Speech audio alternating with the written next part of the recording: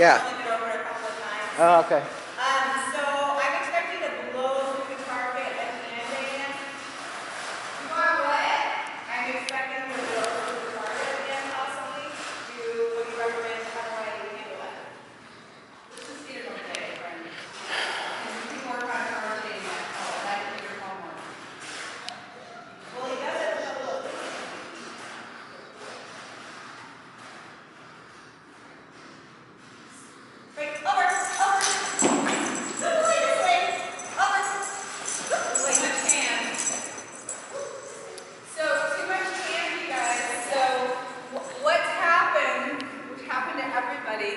is that you're doing like this hand the whole way, that your dog is following like a lure, and then you come this way and you go like this, and so your dog follows the hand. Okay. So stop having your hand out.